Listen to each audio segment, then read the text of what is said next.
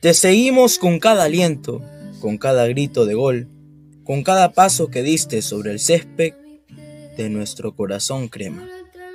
No es secreto que tu destino te lleva lejos y nos duele. Nos duele como si nos arrancaran un pedazo de alma. Pero como todo en la vida, la tristeza se mezcla con el amor. Tu pase le pertenece a Atlas de México y aunque aún no hayas hecho oficial tu partida, tus ojos ya nos los han dicho, te vas.